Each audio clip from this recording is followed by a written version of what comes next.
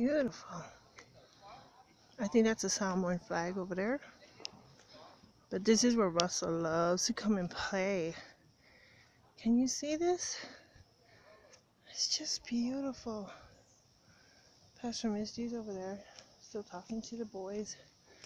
And then these benches are too short. But it just goes on and on and on and on. You see? There's a boat and there's a see it says count your blessings. You see it?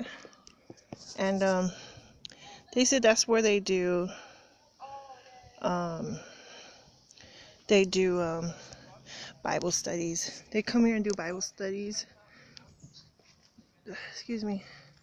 See? Count your blessings and that's Noah's Ark. So so beautiful.